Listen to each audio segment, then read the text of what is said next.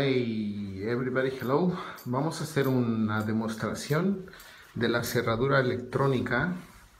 Es una cerradura electrónica muy práctica, en este caso, por ejemplo, para una vivienda que comparte varias entradas. Por lo tanto, por ejemplo, cuando tú quieres que la gente que entra y salga de un sitio esté un poquito sin el problema de dónde está la llave, pues nos preguntaban cómo y dónde está esta cerradura. Esta cerradura funciona con automatizaciones RFID, son unas pequeñas RFID, se las enseño.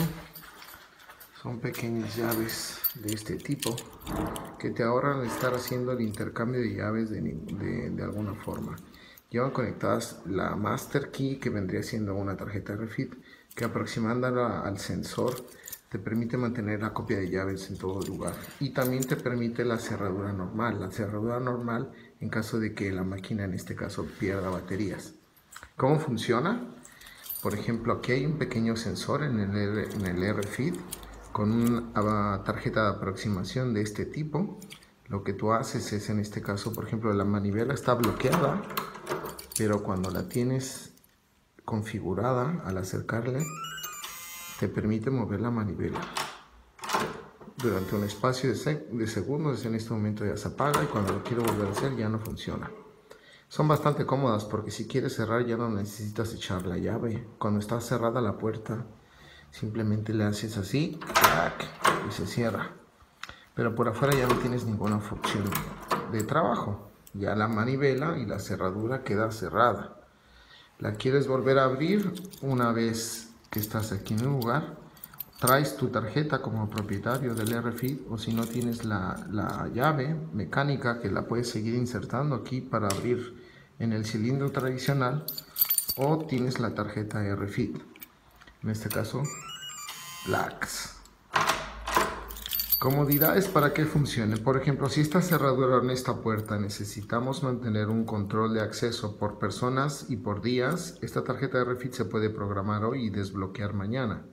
Al desbloquearse simplemente se acerca la master key durante unos 15 segundos a la cerradura y entonces todas estas llaves que andan volando entre un propietario, el segundo, lo demás, desaparecen, ya no se utilizarían.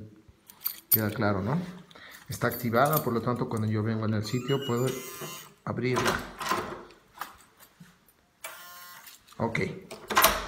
Por razones de seguridad, imagínate que durante el tiempo de servicio, que son aproximadamente 8 meses, las baterías que están aquí dentro de casa se acaban y, tú ya no te diste, no, no te diste tiempo para, para recargar la batería y necesitas entrar a la propiedad. Bueno, pues para entrar a la propiedad esta máquina te avisaría con un pequeño pip, te estaría diciendo ya no tengo batería, por lo tanto cámbiame. Cuando no lo haces porque se te olvidó lo demás, pues simplemente llegas con tu llave normal, abres este orificio donde está el cilindro, aquí lo verán, inserto la llave y abro de forma, de forma tradicional la cerradura. Ok, entonces funciona para de forma práctica y funciona de forma automatizada. En este momento, por ejemplo, está cerrada. Conecto la RFID y la Muy sencilla. Ventajas para este producto en combinación es que te puede digitalizar. En este caso estamos en un apartamento de 14 viviendas y cada una funciona de la misma forma.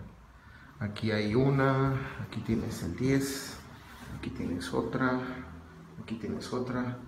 Y al final, si en un caso, por ejemplo, la persona que vive en este lugar se va, no tienes que estarle pidiendo las llaves ni cambiándole las llaves. Simplemente vienes con la Master Key, anulas la llave general, generas una nueva y la abres. Estas chips están aproximadamente sobre 10 por un dólar o 10 por un euro si lo pones calcular, por ejemplo, cuánto cuesta cambiar la cerradura, pues la ventaja es muy competitiva. No tienes que estar haciendo cerraduras extras ni tener problema de ese tipo. Ahora bien, en Suiza, por ejemplo, que es aquí donde estamos, las puertas de una vivienda para que tengan la cédula, la de habitabilidad, tienen que tener la cerradura suiza y una madera tiene que tener una cierta protección.